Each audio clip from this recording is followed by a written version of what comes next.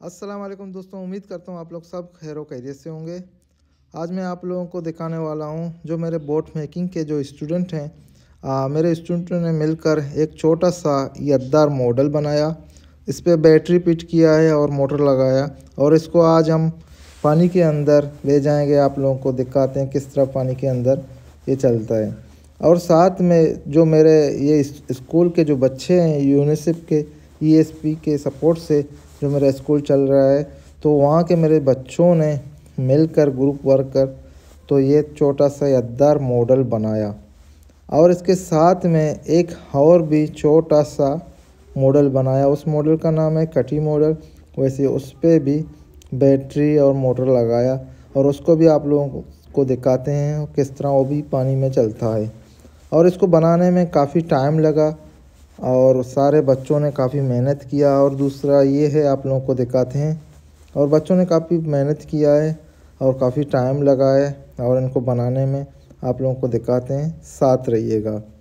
और ये बोट है, दर मॉडल इसको बनाने में काफ़ी टाइम लगा था तो सारे बच्चों ने मिलकर थोड़े थोड़े काम किए हैं, इसको कंप्लीट किए और बच्चों ने काफ़ी मेहनत करके इसको बनाया और इसको खूबसूरत किया, फिर इसको कलर किया। ये बच्चों ने मिलकर इसको बनाया और काफ़ी टाइम लगा। पहली दफ़ा ये बना रहे थे अदर मॉडल तो इनको बहुत मज़ा आया क्योंकि ये पहली बार ये मॉडल बना रहे थे। तो इसको अभी काटना है। इसको काटने के बाद इसका अंदर का जो पर्श होता है, उसे हम बलूची में सतो बोलते हैं, उसको कंप्लीट करके। अभी ये कंप्लीट हो गया। अभी इसके अंदर वाले और भी काम थोड़ा रह गए। कंप्लीट करने के बाद इसको मैंने, बच्चों ने कलर किया, फिर इसको मैंने समंदर पे लेके आया हूँ ट्राई करने के लिए कि इसके अंदर पानी जाता है कि नहीं।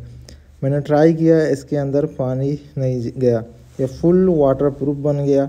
तो इसको दोबारा मैं लेके गया था वेल्डिंग वाले के पास। वहाँ पर इसका जो मोटर था, इसको वेल्ड किया और इसका जो पंखा था उसको भी वेल्डिंग किया। फिर वेल्ड हो गए तो ये मज़बूत हो गए उसके बाद। फिर मैंने समंदर पे इसको लेके आया। ट्राई किया तो इसके बैटरी में चार्ज नहीं था तो ये आहिस्ता आहिस्ता जा रहा था। तो फिर अभी ये ओके हो गया, फिर इनको दोबारा लेके आएँगे बच्चों के साथ में तो फिर और भी मज़ा आने वाला है। भाई, ये दो बोट है, एक यदार मॉडल है और एक कटी मॉडल है। दोनों पे मोटर लगाया।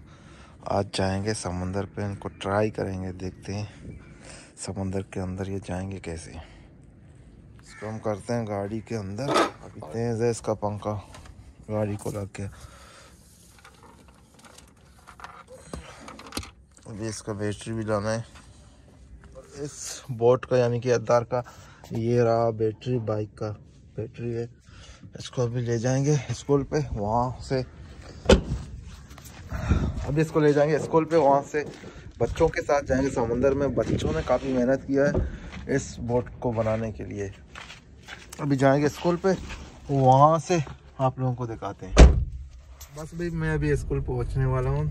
स्कूल से यहाँ से बच्चों को लेकर जाएँगे समंदर में, ग्वादर पदितर बीच में। वहाँ पर इन बोटों को ट्राई करेंगे, देखते हैं। और साथ रहिएगा। अल्लाह और नेक्स्ट टाइम इंशाल्लाह और बोट बनाएँगे उस पर सारा कुछ रिमोट के ज़रिए कर लेंगे इंशाल्लाह। भाई ये सारे मेरे स्कूल के बच्चे हैं और अभी हम जाएँगे इंशाल्लाह समंदर पे। इनको ट्राई करेंगे। भाई अभी हमारे दो गाड़ी रेडी हो गए। दोनों गाड़ियों में ये लड़के सारे बच्चे बैठे हुए हैं माशाल्लाह। कुछ ही सलाम।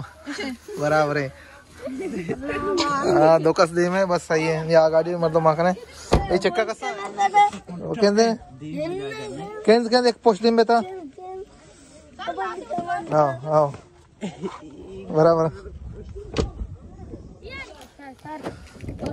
ए दे मैं पर देता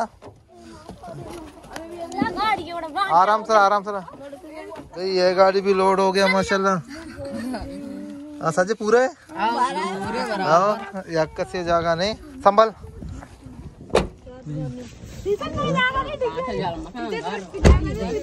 भाई ये सारे स्टूडेंट बैठ गए। यहाँ पर कुछ पीछे हैं। दो यहाँ है। अभी टोटल कितने हम लोग? चक्का कते हम लोग बड़े एक दो तीन पाँच छह सात आठ आठ इस गाड़ी में? आठ ना नौ। नौ?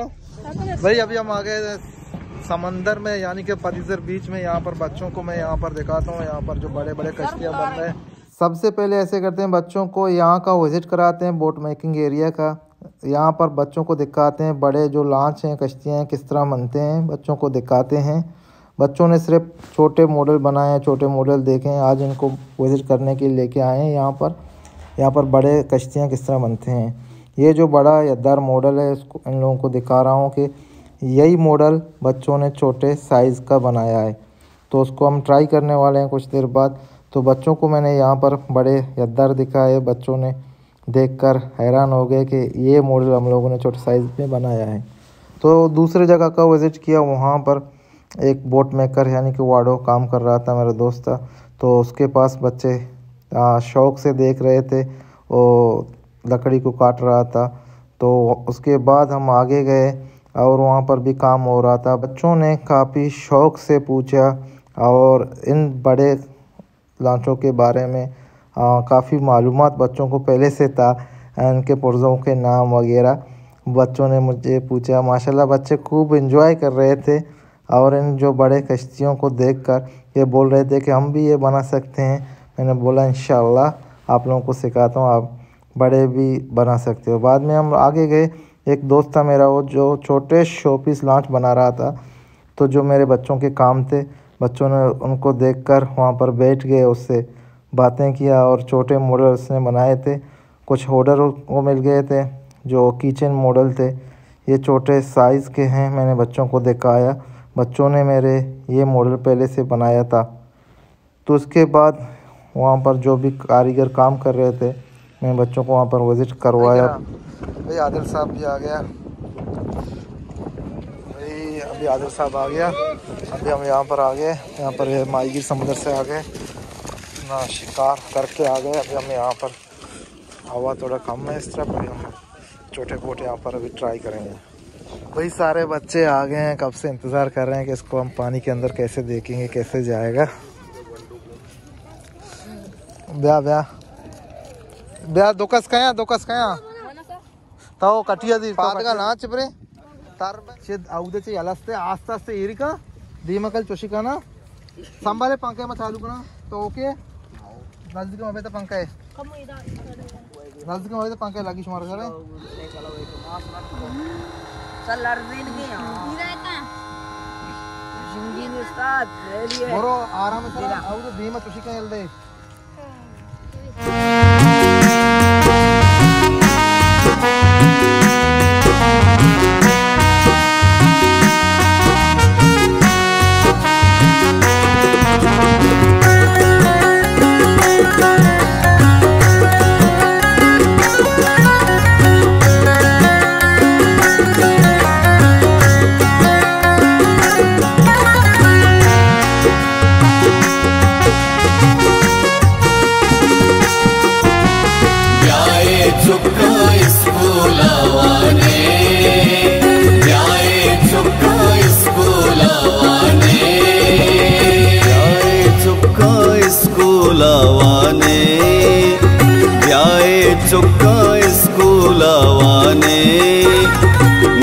बदे मारा बेजाने नी को बदे मारा बेजाने। चुका स्कूलावाने, ब्याए चुका स्कूलावाने। बारिश ऐसा छोनती अद्दार मैं मट्टी। कटी भी बराबर मट्टी माशाल्लाह मारते वजटा दरियाया वाह सारा में बनाया था इंजीनियर ले रहा था। और तो दरिया अल्लाह का सर हुआ बहुत बहुत बहुत बहुत शुक्रिया कि आप आए हैं इधर। और मैं आपको बताऊँ कि हमारी सबसे पहली तरजीह जो है गवादर के तमाम बच्चों को एजुकेशन देना है। एक तो ये है कि हमारे मेन स्ट्रीम लेवल एजुकेशन है, जिसमें हम गवर्नमेंट के स्कूलों में पब्लिक स्कूल में हम अपने बच्चों को पढ़ाते हैं।